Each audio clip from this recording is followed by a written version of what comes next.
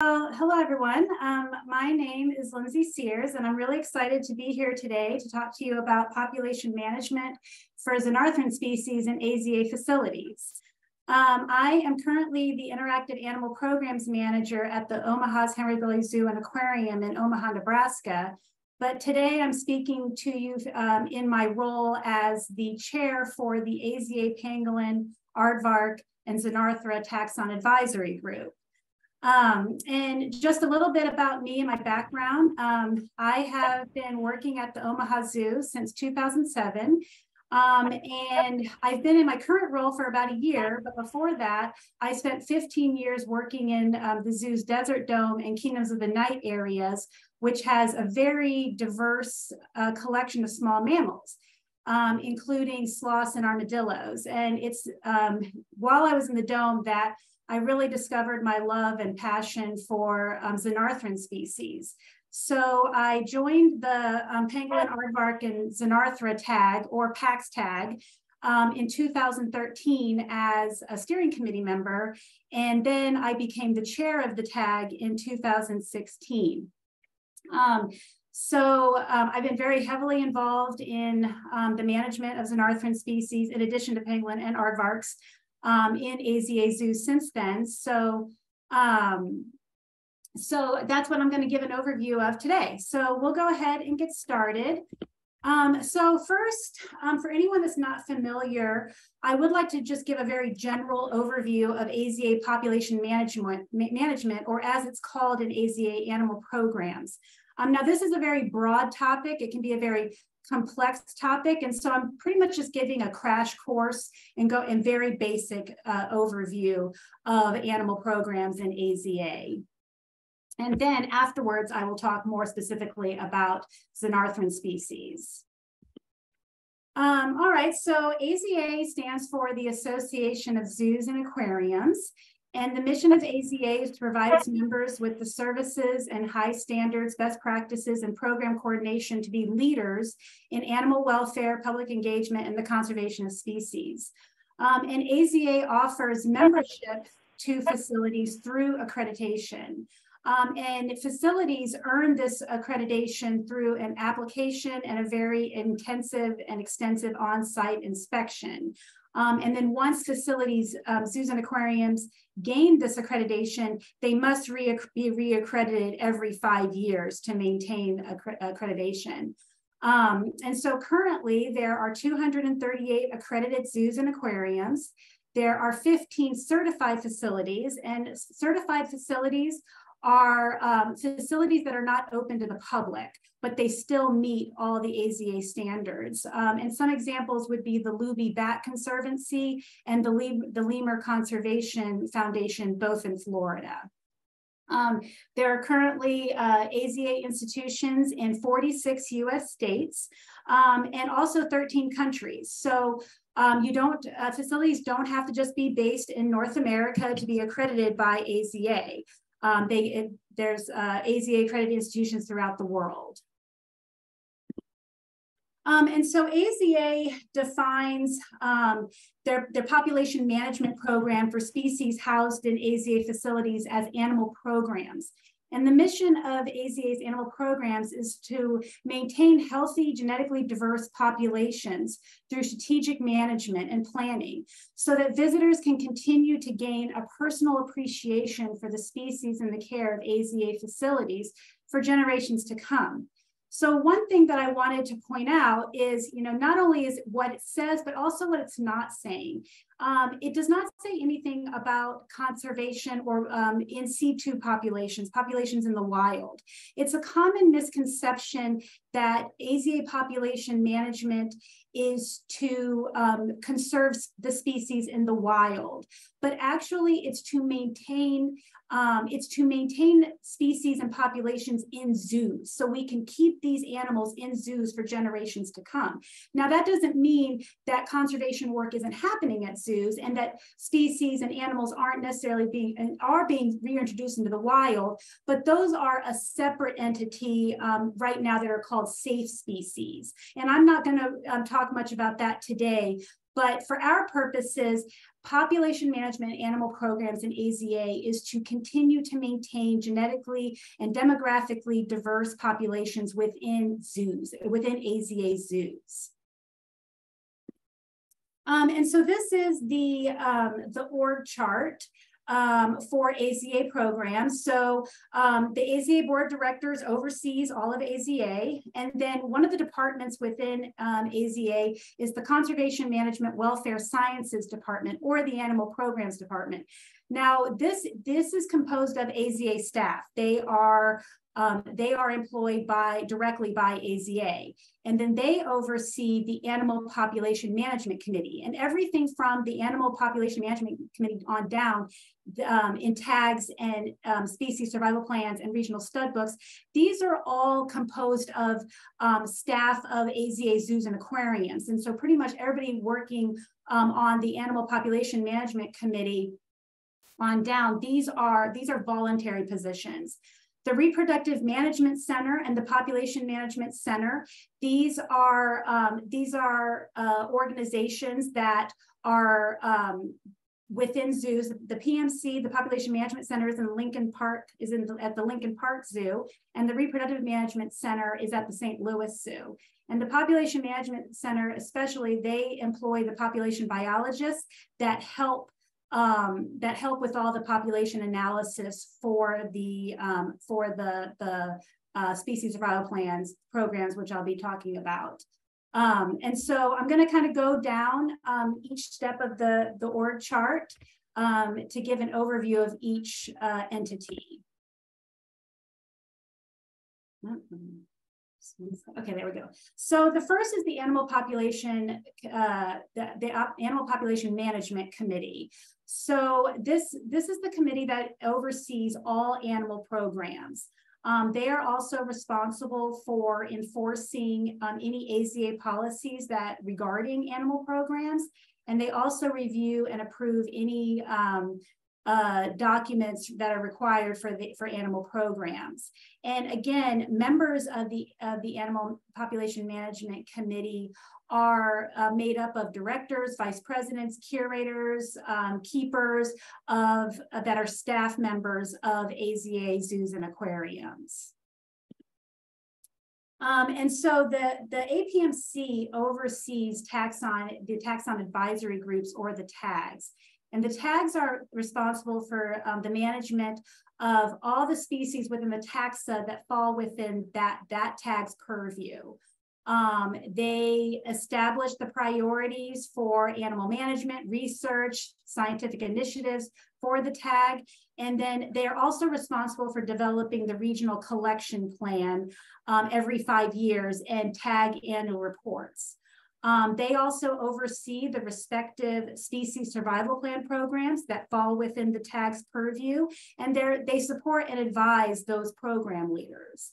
There are uh, currently 42 AZA tags, and it, um, because every every species within AZA facilities has to be represented by a tag. So some examples include the felid tag, ape tag, snake tag, and of course the pangolin aardvark xenarthra tag or the PAX tag.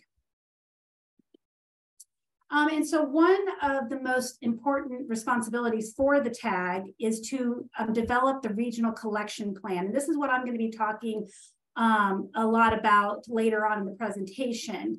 Um, and this document recommends species within the tag that um, for cooperative management by um, an animal program, and then they designate those recommended species um, as a specific animal program.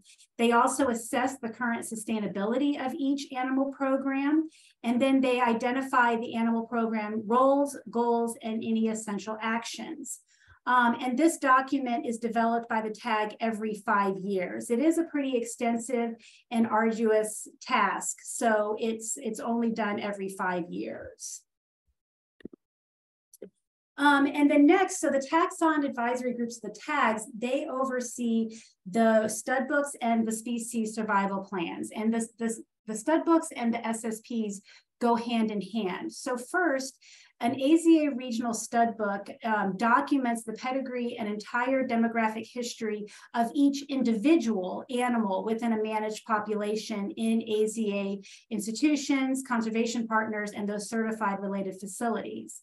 Um, and then these uh, these histories then become the, the population's genetic and demographic identi identity, and then they become valuable tools to track each individual within that ex situ population. Because again, the stud book is monitoring the, the population in zoos and aquariums, not the wild.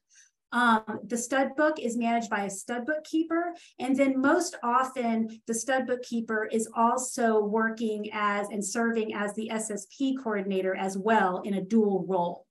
Um, all the stud book data information um, about each individual animal is then used to produce a breeding and transfer plan for the SSP. And at the um, and on each slide, I have included a link because all this information and more information about each of these is available on the AZA website, aza.org. Um, and so next is the species survival plans or SSP. That's probably what I'll be referring to it as uh, for the rest of the pro or the presentation. Um, and so the SSPs are responsible for managing the ex situ species population within AZA facilities and sustainability partners and certified facilities. Now, sustainability partners are actually non non-AZA facilities that have been approved to be a part and to, to participate in the SSP. Um, the SSP is managed by the SSP coordinator, again, who is most often the stud bookkeeper as well. Um, and there are currently, as of January 2023, 288 SSPs. Um, the SSP program just went through a, a huge reimagination process. Um, and there were 574 SSPs before, and then now after the reimagination, that has been uh, in, decreased to 288. Um, and each SSP program is responsible for developing a breeding and transfer plan, and that is done in collaboration with the Population Management Center, um, a population biologist at the PMC who works at the Lincoln Park Zoo, um, any program leaders, the SSP coordinator, the stud bookkeeper, um, and also institutional representatives from each participating institution, um, you know, each AZA facility that holds that species. Um, and then breeding and transfer plans summarize the current demographic and genetic status of the population. And then that's where all breeding and transfer recommendations are made. Now, this um, breeding and transfer plans are usually developed every three years for most SSPs, and then interim breeding and transfer recommendations are made um, within the three years. Um, but the frequency can vary based on the species biology and the species needs. Um, and so, like I said, the the SSP uh, program just went through a huge reimagination process. It was about a two to three year um, process where um, AZA and the Animal Population Management Committee um, came up with new ways to categorize and um, describe uh, SSPs. And they also made it, made the criteria a little more difficult for species to attain that SSP designation. Um, before January 2, 2023, um, population, species populations in AZA facilities um, were basically evaluated using only one criteria, and that was genetic diversity. That was the population's ability to maintain 90 percent genetic diversity for 100 for 100 years and then and then the SSP was categorized based on that. But now SSP sustainability is assessed using four criteria. So in addition to genetics, we're also assessing based on demography, space and interest, and, and husbandry. And so now there are three new SSP designations that we are all using now, and they are secure, signature, and provisional. Um, so the secure is the is is the most sustainable uh, SSP. Th these are populations that have been that are viewed as the populations and the species that we are pretty certain will still be present in zoos and aquariums in 100 years in a very robust, viable, and healthy population by meeting all of those four criteria. And at this time, um, there, to my knowledge, there no species have yet been um, identified as secure. They're still working that out. Um, so right now, we're pretty much just using the signature of the provisional SSP designation. And so signature is any species populations that meets all of the four criteria and is on track for long-term sustainability. Um, but then a pr provisional SSP is a population that's more on the cusp. So they are not meeting all of the criteria, but they have the potential to meet them within a time, a, a certain time frame. Um, and so the provisional SSPs have been tasked with developing SMART goals and, and they must show measure measurable progress towards becoming a signature SSP to, to maintain their SSP status. Um, the provisional SSP designation is meant to be more of a temporary categorization. It's not supposed to be long-term. Um, and so how that is the how so how each species within AZA is assessed is first they must go through a they they must be uh, go through a flow chart. And so the first hurdle that a species has to uh, pass is that species must be held at 15 or more AZA facilities. And um, and this is new because before an SSP, it really had nothing to do with how many, it really didn't have a lot to do with how many hold, holding institutions they had. Um, and so if a species is not held at more than 15 AZA institutions, it is not an it, it is not an SSP. Um, but if it is, then it then we, we move forward and um, breeding then must exceed private acquisitions. Um, and then the majority of animals must be held in AZA facilities and not non-AZA sustainability partners. And if they can meet those three criteria, then they, can, they move on to another SSP assessment. And any species not meeting those three, those three criteria then become most likely tag endorsed, and then they only maintain the stud book. And they do not produce a formal breeding and transfer plan um, or they just there's no stud book uh, at all and they're just not an SSP anymore and not not monitored at all which I don't really think is is happening that much. I think the tags are monitoring all species that were previously an SSP so again, once, even though an, a, a, a, population may pass those first three criteria, then they're going to be re, re, they're going to be evaluated even more on those four criteria: the genetics, demography, space and interest, and husbandry. And there's going to be a plus, a neutral, or a negative. Um, and and then, so if a so if a population has two or more positives and no negatives, they they become an SSP, a signature SSP. If they have any negatives at all, they they cannot be a signature. So um, so if if they have um, if they have less than two negatives, then they become a provisional. But any any population that has more that two or more negatives in any of those categories, they are no longer an SSP and they become a stud book tag monitored population. All right, so again, that was just a very brief overview um, of AZA population management and those SSP designations. Um, and so I just, so now I want to talk about how, how this applies to xenarthran species in AZA facilities. Um, and so, um, so just a, a, a, basic broad overview of the pangolin aardvark xenarthra tag or PAX tag. Um, we are responsible for the management of pangolins, aardvarks, anteaters, sloths, and armadillos in AZA facilities. Now, I want to make sure that everybody knows, we know, AZA knows that these all these species are not taxonomically related. Um, but um, I think the thought was is that they're all very unique species that share similar biology and natural history. So they kind of just lumped all pangolins and aardvarks in with the xenarthrans. But we are very aware that they that pangolins and aardvarks are not xenarthrans. Um, And so, and luckily for, for the PAX tag, is interest in our species in AZA facilities is consistently high. Um, our the spe Xenarthran species are um, are really uh, in demand for ambassador animal programs and also mixed species exhibits in AZA facilities. And right now, the PAX tag oversees SSP programs for eight species. Um, but we just recently developed our, um, our regional collection plan 2022.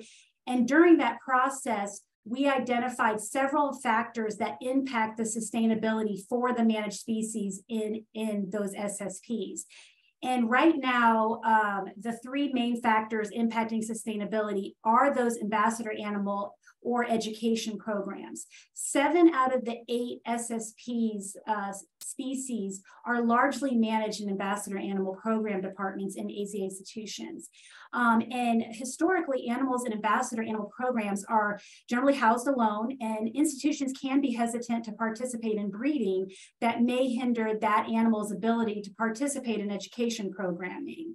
Um, and then also, if an institution is not able to acquire an animal from within the, the SSP population, most likely due to high demand for that species, then they then usually Xenarthran species can easily be acquired from the private sector, and these animals are going to lack demographic and pedigree information, and so then they really cannot really be a part of the, the breeding population because we don't know much about their history.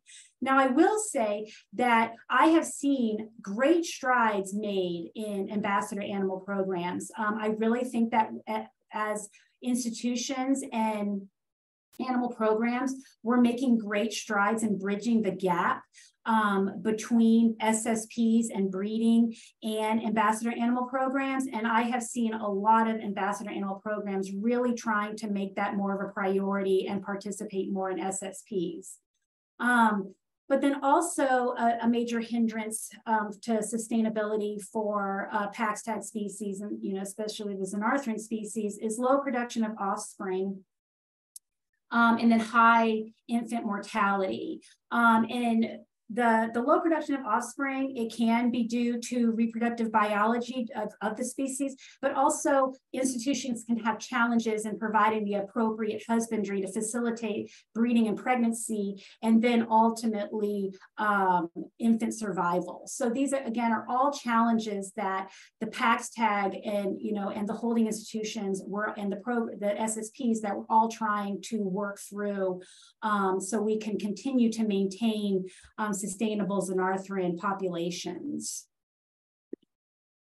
Um, and so the, the most recent PAX Tag Regional Collection Plan was just published in November 2022. It was the third edition of the Regional Collection Plan for the tag.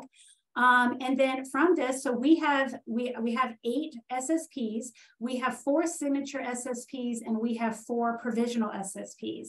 Now I am very proud and happy to say that we were one of the, the out of the 42 tags, we were one of maybe two or three tags that maintained all of their SSPs through the reimagination. We didn't lose any SSPs, and that is um, that's that's really really great for us but we have a we have a lot of work to do. So our four signature ssps again these are going to be the, the ones that are meeting those four criteria and they are on track for long-term sustainability. And right now those are giant anteater Linne's two-toed sloth screaming armadillo and southern three-banded armadillo. Now the four provisional ssps that again those are the ssps that are more on the cusp. Those are aardvark Hoffmann's two-toed sloth, six-banded armadillo, and southern tamandua. And so we have a lot of work to do with those, especially with those four provisional SSPs. Um, and we have, uh, you know, over the next five years until the next RCP is developed in 2027, we have to really do a lot of work and identify you know what factors are hindering these specific provisional ssps from from um, maintaining sustainability and hopefully be able to uh, overcome those so then they can move up to signature SSP and not lose their SSP status. Um, and especially for um, I know aardvarks are not xenarthrans, but I'm still going to talk about them and and and throw them in there. But especially for aardvark and six-banded armadillos, those are smaller populations within AZA, and so you know it's just also trying to find holding um, holding institutions for those species. Um, and so this is how those eight SSPs um, what the, the, assessment results when we when we ran them through the flow chart and then the assessment this is how um, how they they fell out. And so um, they're they're all they're all held at 15 or more AZ institutions. And so they all met those first criteria um, but the four provisional SSPs, Aardvark, Hoffmann's, Six Banded, and, and um, Tamandua, um, they so Aardvark and um, Hoffmann's and Tamandua, they had at least one negative in a column. And so they were automatically a provisional. They could not, they could not be a signature. Now, six banded doesn't have any negatives, but they did not have two or more positives. They had three neutrals out of the four categories. And so that's why they are classified as provisional. But then all others had that two or more positives in the four columns so they are signature SSPs. Um, and so this is, again, this is as of um, 2022. Um, so this is the current program designation for each of the SSP, the current population size, um, the current number of participating AZA institutions, the five-year lambda, you know, um, the population trend, um, and then also the date of the most recent breeding and transfer plan. And so most of the information that was used in these SSP assessments were taken from the most recent breeding and transfer plan because a lot of demographic and population analysis is done during that process. Um, and so now, and so an SSP designation or a populations designation can change. And so the, the status of the managed species will, will be reevaluated again in the next RCP in 2027 to see if any of these designations should change. And I'm hoping that, you know, with a lot of work, um, and a lot of time and effort on the part of the program leaders that those provisionals will move up to signature. Um, and because once again, that my understanding, and because this is all very new, we're still learning um, about the new designations, but my understanding is that the provisional is a temporary classification. So these provisional SSPs have five years to hopefully move up to signature SSP. Um, and so it, uh, also in the regional collection plan, every SSP has to come up with at least three SMART goals um, because you know it's it's not it's not just um, you know producing a breeding and transfer plan every three years. There's a lot of work involved for the program leader, and so I'm just giving you a, shot, a snapshot of both um, two-toed sloth populations, and that this that both sloth populations are actually managed by one SSP coordinator and each sloth population has a separate stud bookkeeper. So those people are working together with these um, to, to work on these goals and to make progress. Now you can see that Hoffmann's is the provisional, so they have an additional goal um, that's more centered around um, any factors uh, breeding that could be in, impacting and hindering sustainability. And so uh, that's more focused, that goal is more focused on, again, trying to hopefully get Hoffmann's from from a provisional to a signature. Um, but Linne's is a signature. And so um, even though they have similar goals to Hoffmann's, they don't necessarily need that much focus on breeding and, and population sustainability. Um, and so now that doesn't mean, now outside of the eight SSPs, that doesn't mean that these are the only Xenarthran or Pax tag species that are housed in AZA facilities. These are the only, these are just the species that were, that were recommended for SSP and who made it through the assessment. Um, but we also have other species that are um, that are housed in AZA facilities, but they are uh, they are they are non-managed. So we call those the non-managed species. So there are white-bellied pangolin. Um, there, as of 2022, there were four large hairy armadillos. Um, nine banded armadillos, three brown-throated sloths, and then one northern tamandua. Now, so southern tamandua is the species that is managed as an SSP, not northern, and, and, um, and there's just one. Now, um, you're probably noticing that nine-banded armadillos, it, they are very popular um, and they are very prevalent in AZA institutions. They're, they're housed in um, 42 AZA facilities. And so that is more than 40, that is more than 15. Um, however, private acquisitions outnumber births. And so that, so again, that the species does not meet SSP criteria because of that and is, and is listed as tag monitored. Um, and then also the phase out species, um, that kind of, you know, sounds very negative and, um, and kind of has, has more of a negative connotation. But um, the phase out species, the tag does not have any strat, does not have a strategy to actively remove or reduce these species within AZA institutions. Just because they're they're listed as phase out doesn't mean that we're going to the one AZA institution that has large hairy armadillo and saying you have to get rid of all of them. We're just saying we know that they're there, but we have because there's just so few, we don't really see them ever really um, approaching sustainability and SSP status. So we're just more saying, you know, we know that they're there and they can phase out naturally by attrition. Um, and then once again, the, the non-managed species, their status will also be reevaluated in 2027 when we do the next regional collection plan um, to see if the if any of these designations should change because things are fluid and things and and you know populations and, and species within zoos are always are, are always evolving and so things can change within five years um, and so uh, one thing I, you know, this is the table of contents for the regional collection plan. It is a, a, very large, extensive document. And again, I'm just scratching the surface. I'm basically, I'm just focusing on the, um, the, the SSP species. Um, but there is a lot more within this regional collection plan. And, you know, this is just a snapshot of what else is of what else is in there. Um, the PAX tag regional collection plan is available on the AZA website, but you do need to have an AZA membership and a login um, to access it.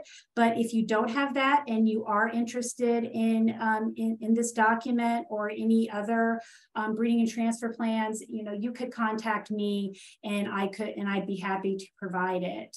Um, and so, uh, so again, this is just a very um, brief overview of population management within AZA uh, zoos, and then also, you know, specifically for Xenarthrans. Um, and I just wanted to say thank you so much. Thank you to Mariella and Kenny for reaching out and um, asking me to present. Um, and, and again, if you have any questions or if you would like uh, more information or access to those documents, please feel free to reach out to me um, and I'd be happy to share more because again, this is, it is a very broad topic. Um, so, but yeah, uh, thank you for having me. And, um, and are there any questions? Uh, thank you so much, Lindsay. Before we're going to get to the questions, I just want to tell everyone a little bit about the specialist group. And then during that time, if we can come up with some more questions, that would also be good. All right, so there we go. Um, we are part of the IUCN SSC, Anteater Sloth and Armadillo Specialist Group. Our website is xenarthrans.org. We have an Instagram page, we have a Facebook page, and we have a pretty new YouTube page where you can see all of the past uh, Xenarthran webinars, but you can also see some other really cool stuff, which we're going to talk about in just a moment.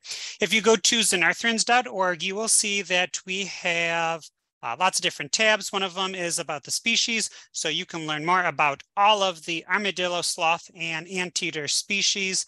And just this year, we had uh, some species split up, so we will have new pages on those new species very soon. Like I was uh, alluding to. If you go to our YouTube page or our Facebook page, you will also see four animated videos about Xenarthrans. We have one about ancient, extinct Xenarthrans, and then we also have three videos on modern day sloths and educational programming. All of the videos are about five minutes long and they are perfect for elementary and middle school students, but high school students will also enjoy them. If you go to our website under the education tab, you will see that we have activity sheets for K through 12 students that directly relate and reflect those videos that I was just mentioning. We have coloring sheets, we have spot the difference activities, we have crosswords and word searches and puzzles. And the great thing about all of those videos that I mentioned and all of these activities is that they are in Portuguese, Spanish, and English. Coming up on the schedule is next month's webinar, July 11th. We are going to be discussing how to estimate armadillo densities with the newly uh, doctored Roxanne. So we are excited to have her. And I wanted to mention because Lindsay's presentation was about animals in AZA facilities. Last month, we had Jennifer Stoddard, and she talked about specifically tamanduas, but also a little bit about other uh, xenarthrans in ambassador programs. So you can watch that past webinar on our YouTube or our Facebook page. If you are at a AZA facility, or if you are working with xenarthrans in the wild, I would love to receive small little videos or photos of your animals so we can highlight them on our social media platforms. And if you are taking photos and sending them to me, please be mindful of cages and bars. We want to show xenarthrans in the best light. If you feel inspired to donate to our specialist group, which helps support Xenarthran conservation, animals in the wild, you can go to our website and there's a donate button. And if you don't want to just give out right, you can see that I'm wearing this awesome maned sloth shirt because they're one of my favorite sloth species. And if you go to anteater, sloth, and armadillo dot creator slash or dash spring.com, you will see we have a lot of merchandise. We have t-shirts and tote bags and mugs about all the different anteaters, lots of different sloth species, two-toed, three-toed.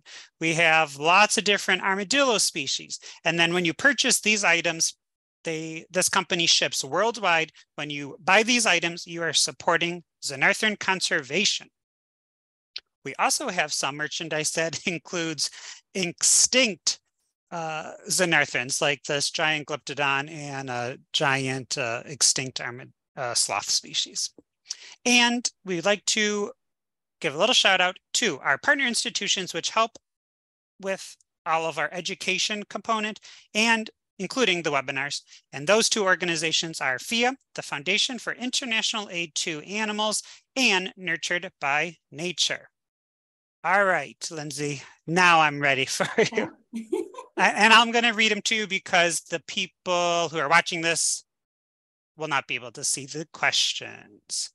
All right. So, Lindsay, have you experienced any problems or a fear of sloth hybrids between the two two-toed sloth species in AZA institutions?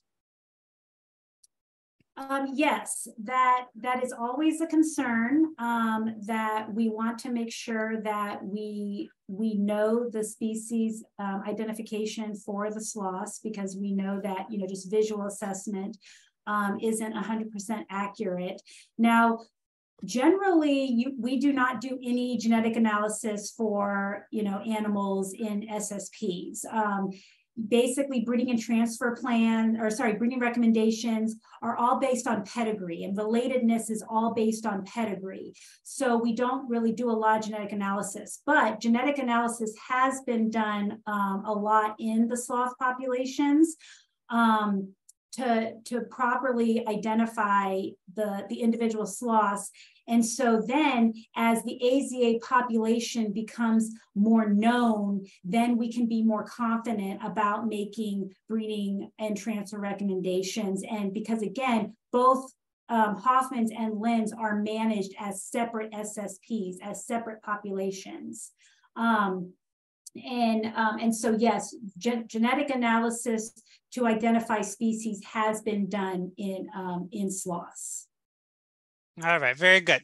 Now, we of course want to support Xenarthran uh, conservation and research. And one fear or uh, question that a lot of people have is, do the advisors for SSP and TAGs or the stud bookkeepers, are they supposed to be supported by their home institution or are they expected to be volunteering outside of their daily zoo job? Um, well, yes, all the program leader roles, they are all voluntary. Um, and so, so people are doing this, myself included, we're doing this in, a, in addition to our day job. But in order to even apply to be a program leader, you have to have, you have to have institutional support. You have to have um, your application signed by the director, um, say, saying that the institution does support. So hopefully every institution is different, but hopefully the program leaders at each institution are being given the proper resources, equipment, and time to um, to do their uh, their program leader duties. But but it is outside of our um, our daily jobs. All right, very good. Mariella was wondering if you know which facilities keep the brown-throated three-toed three-fingered sloths? Um, at this and, time, it is Dallas World Aquarium in Dallas, Texas. All right, very good. And the ambassador team at the San Diego Zoo would like to know, can you give us some examples of the qualifications for the husbandry criteria? How do you measure the negative, neutral, and positive for each criteria? Oh, this, I will say out of the four criteria, husbandry was the most difficult to assess Hus because husbandry was the most subjective. So basically the husbandry criteria is all based on meeting birth goals. So in the breeding and transfer plan, um, based on species biology, but also the target population set by the tag based on you know, space and demand for the species, the tag will set a target population size. And so in the breeding and transfer plan, they will come up with a birth a birth goal like a birth rate goal of how many births need to happen per year to meet this target population size and so the husbandry criteria was all what what is hindering is anything hindering a population from meeting these birth goals? And that's where a lot of the provisional SSPs, they got that negative because um, six-banded armadillo, aardvark, um, especially, they have a lot of husbandry challenges that hinder meeting those birth goals. But also aardvark, um, it's it's also species biology um, really you know hinders that from meeting you know from get, having a lot of births throughout the year and so um, so yes husbandry was was all based around a population meeting their birth goals now christian who we mentioned was is in chile right now he said uh, congrats on the presentation it was wonderful sorry i was a little late does AZA have programs for reintroduction into the wild of Xenarthrans? Now, I know you said at the beginning of the program that it's kind of two separate entities. And, and not at this time. We do not have, um, for, specifically for Xenarthrans, we do not have any programs for reintroductions into the wild. Um, the SSP programs the, the goal is maintaining these populations within AZA zoos and aquariums. Um, but I do know that, um, especially off the top of my head, in, in amphibians, there are um, there are re reproduction um, reintroduction programs. In fact, here at the Omaha Zoo, we we reintroduce um, Wyoming toads and Puerto Rican crested toads back into the wild. But that's a separate entity that is now, I believe, called SAFE SAFE program, Saving Animals from Extinction. So many of the people who are attending this webinar are zookeepers and the ambassador team at San Diego Zoo says, is there something specific we can do to support the taxonomic advisory group's work? For example, data, is there data or publications or stuff that they should be sending to specific uh, tag advisors? Um, oh, I think that's a great question. Um, and I love to see the enthusiasm. I think what I would say is collaborating with the SSP coordinator, especially if you hold those provisional SSP species, you know, doing being in constant communication and providing information to those SSP coordinators to try to figure out the challenges that are impacting sustainability. Um, and because uh, for instance, you know, in, in Tamandua, um, in the Tamandua population, um, the SSP coordinator has really worked hard to get um, ambassador animal departments to breed, but usually then uh, you know, institutions will breed and they'll breed once and then they'll, you know, but then they don't, maybe they, they don't want to breed anymore. Or, um, and so it's just really being very open to the needs of the SSP coordinator. And, but, and I, and again, I think, you know, we've done such a good job of, of collaboration and just keeping that going um, and maintaining that balance of the needs of the SSP, but also the needs of the, of the institution. And so if the SSP coordinator reaches out for information, please communicate. Um, please, you know, please be, be ready, ready and willing to help. Very good. And I knew a couple stud book uh, people, and they would say it was it was pretty difficult to wrangle everyone. Yes, yes. To, Communica- communication can be the the, the hardest thing. All right. So thank you so much, Lindsay. If you look in the chat, you have lots of thank yous and excellent presentations. Yeah, well, thank and, you. And we appreciate it greatly. Somebody did ask me, can you repeat where you would like, where I would like the photos and videos submitted? And that is a great question. So if you go to xenarthrans.org, there is a contact us uh, function. And if you contact us, you cannot submit a photo or video on the website, but once you contact us, then we'll tell you the instructions. Or if you're attending this live, I put my personal email address in the chat function. And Mariella, our fearless leader, would like to remind all of you zookeepers and people working in AZA facilities that we have a journal and it's now it's called Xenarthra. It was formerly Edentata, but uh, we've changed the name to reflect the appropriate taxonomic uh, filing. So we would love to publish your articles written about zookeepers, about breeding, about husbandry, about troubleshooting, challenges, trials, tribulations, you know all of that. So uh, you can also contact us through the xenarthran.org website and we will tell you, um, well, you'll actually see the uh, form of how to write for that journal and we'll be happy to answer any of your questions. And uh, once again, thank you, Lindsay. Thank you. Bye, everyone.